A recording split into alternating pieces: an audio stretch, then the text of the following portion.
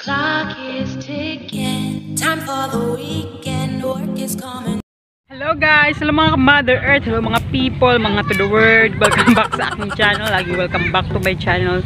So, ready na ba kayo? Ready na, ready, ready. So, ready na kayo. We are going to unbox na po ang padala po sa atin ng ating Mother Earth na ang ating mama, ang ating biyanan, at ang lola ng aking mga anak. Gabi, gabi maka-describe. So, i-unbox na natin ang padala niya from US. Ito yung mga regalo niya sa kanyang mga apo, sa amin. So, unbox. Watch this!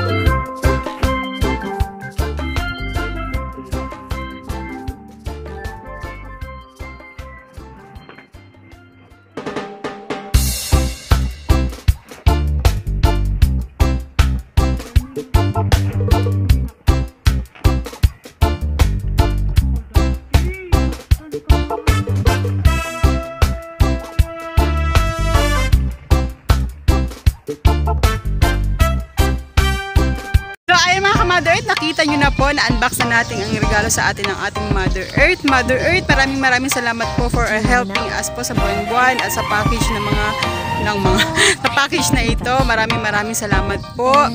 At gusto ko rin magpasalamat sa aking mga ate, Ate May at Ate Rosie for helping us din po.